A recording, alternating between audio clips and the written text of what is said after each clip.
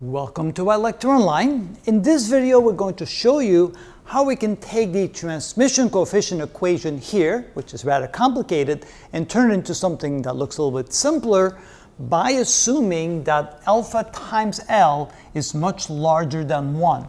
In other words, if the barrier is fairly wide, then what we can say is that the hyperbolic sine of alpha times L, and notice that this term is squared, then that becomes such a large term that a portion of it disappears and this one here no longer matters. Let me show you why. So here we have the equation for the hyperbolic sine of x. This is e to the x plus e to the minus x divided by 2. Now if x becomes large, e to the minus x goes to 0 and e to the x becomes large.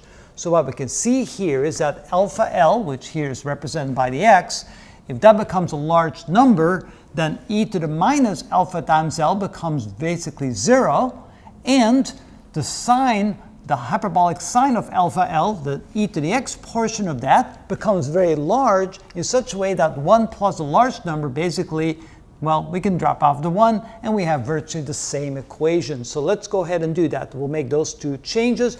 We'll make the 1 disappear, and we'll just put this portion of the equation in there instead of the whole hyperbolic sine. So let's do that and see what we get. So then the transmission coefficient becomes equal to 1 divided by, the 1 is now gone. In the numerator here, we're going to end up with e to the x. Now, e to the x is, of course, e to the alpha times L. That comes from here.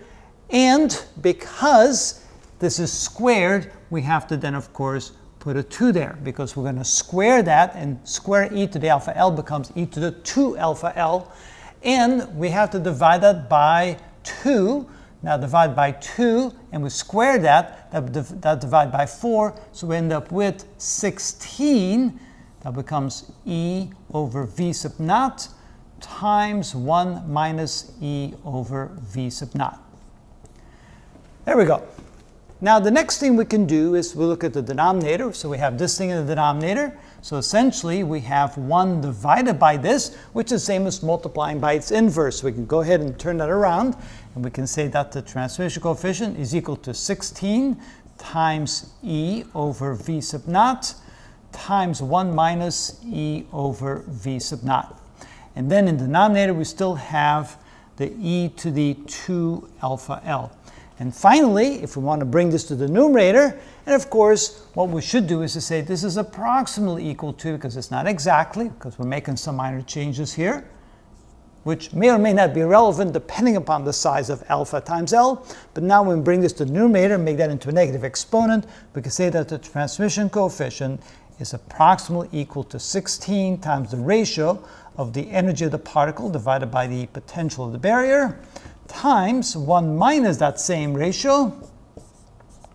And then here this becomes an exponential decay function e to the minus 2 alpha L. You may remember seeing that term in some previous videos, the e to the minus 2 alpha L simply represents the decay function the decay of the amplitude of the wave function as it goes to the barrier. Now, of course, as the barrier becomes very wide, then this will essentially become zero after a certain distance. If it's not too wide, then the particle, the particle can emerge on the other side and continue with the wave function, however, with a smaller amplitude.